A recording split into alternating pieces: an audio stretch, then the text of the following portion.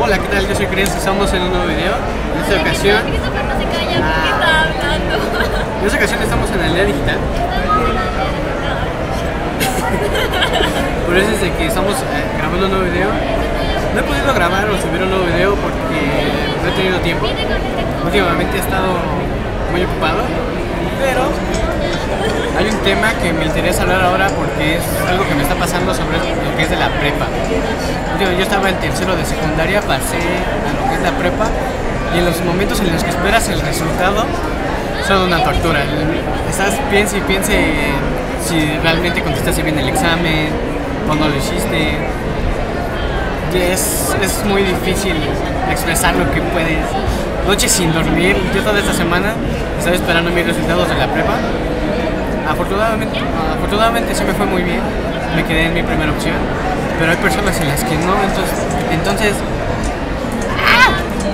ver la, la pantalla de esta. ¿Solo son tres minutos?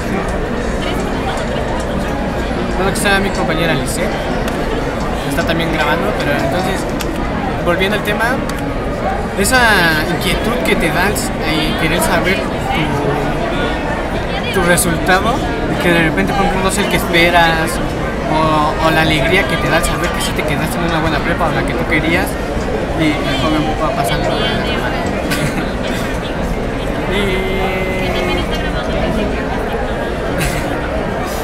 yo tuve compañeros que afortunadamente no tuvieron alguna opción, sí tuve algunos conocidos, y pues es feo porque, o sea, tú te quedas con la emoción, no, pues yo sí me quedé en la prepa que quería, pero es algo que yo, por, menos para mí, no puedo festejar, porque por el miedo de, no por la angustia de la otra persona que me importa y no se quedó en lo que quería, no era lo que esperaba.